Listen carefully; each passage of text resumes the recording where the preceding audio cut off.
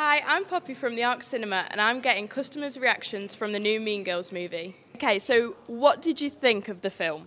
I love it. We all love musicals, so the fact that it's obviously Mean Girls, which we love, and then it's the musical theatre element, it's our favourite. Uh, did you have any favourite songs? I think World Burn was pretty good. Is there anything you preferred about this film to the original? Some of the songs have definitely changed. It was like modernised, I quite liked that part. Modernised. What did you think to Renee Rapp, the Regina George? Do you think she I did love it her. I've seen her doing it on Broadway.